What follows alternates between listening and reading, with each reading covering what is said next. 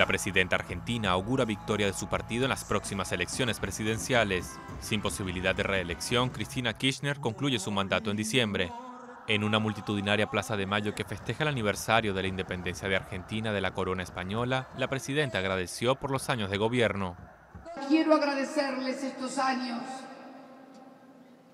que han sido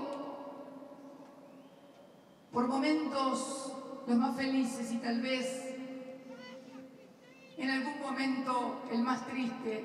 Quédense tranquilos que mientras sea presidenta voy a seguir defendiendo los intereses del país y proponiendo pagarle a todos los acreedores, pero en forma justa, equitativa e igualitaria.